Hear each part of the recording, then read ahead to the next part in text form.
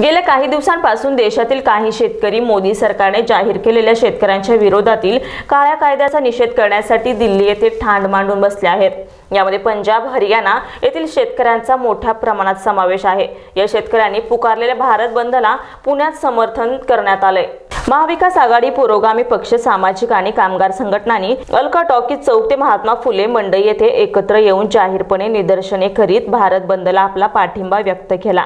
यावेळी काँग्रेस कमिटीचे अध्यक्ष रमेश बागवे आमदार चेतन तुपे शिवसेना शहर प्रमुख संजय भोसले दगडखान परिषदेचे राष्ट्रीय अध्यक्ष ॲडव्होकेट बी एम रेगे राष्ट्रवादी काँग्रेसचे प्रवक्ते अंकुश काकडे व इतर पक्षाचे पदाधिकारी फार मोठ्या संख्येने उपस्थित होते.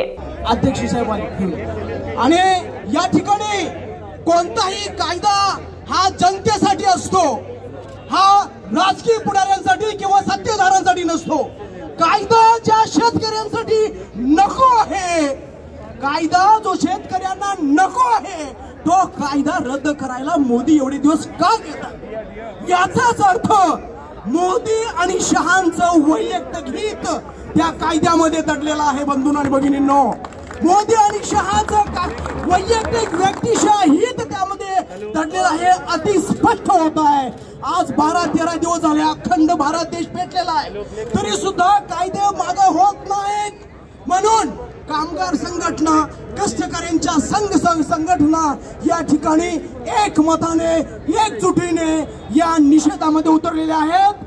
शेतकऱ्यांचे तीन कायदे तरी विरोध आम्ही करतोच. परंतु कष्टकऱ्यांच्या चव्वेचाळीस कायदे चार कोडमध्ये ह्या मोदी शाने घातलेला आहे. त्यांचा सुद्धा निषेध आम्ही सर्व कष्टकरी कामगार संघटना या ठिकाणी करत आहोत. Dnyaneshwar Patekar star Maharashtra news Haveli Pune.